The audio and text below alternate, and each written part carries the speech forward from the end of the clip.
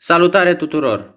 Ne-am gândit să abordăm și o temă sportivă pe canalul nostru, așa că astăzi vorbim despre primul campionat mondial de fotbal. Acesta a avut loc în anul 1930 în Uruguay. S-a ales Uruguayul deoarece țara sărbătorea 100 de ani de la prima ei Constituție, iar echipa națională de fotbal a Uruguayului a câștigat titlul olimpic în 1928. Au participat 13 echipe, dintre care 7 din America de Sud, 4 din Europa și 2 din America de Nord.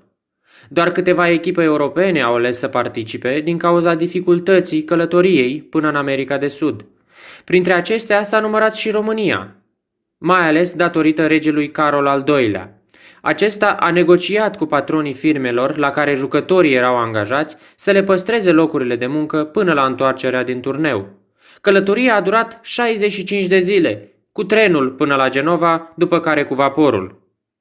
Toate meciurile s-au jucat în capitala Uruguayului, Montevideo, pe trei stadioane, dar majoritatea pe Stadio Centrario, care a fost construit special pentru acest campionat. S-au format patru grupe, una din patru echipe și celelalte din câte trei echipe. Au jucat fiecare echipă împotriva celorlalte din grupă. România a fost în grupă cu Uruguay și Peru și a obținut o victorie cu Peru, dar a pierdut meciul cu țara gazdă. Astfel, a terminat grupa pe locul al doilea. Regula era că doar câștigătoarele de grupă se califică în semifinale.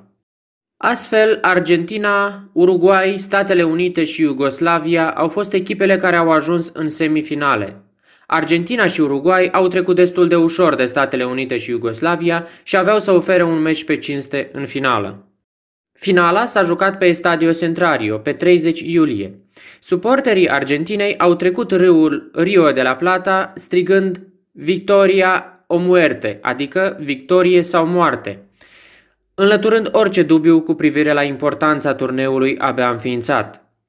Zece bărci au transportat fanii Argentinei, de la Buenos Aires la Montevideo, însă acestea s-au dovedit neîncăpătoare, astfel că au fost folosite un număr mai mare de embarcațiuni improvizate.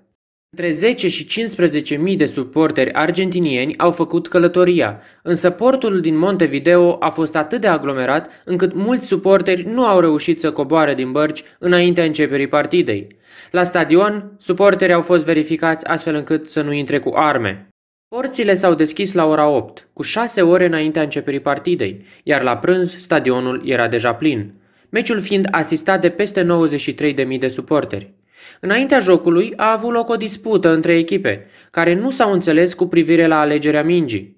Organizatorii au intervenit și au decis ca Argentina să aducă mingea pentru prima repriză, iar Uruguay pentru cea de-a doua.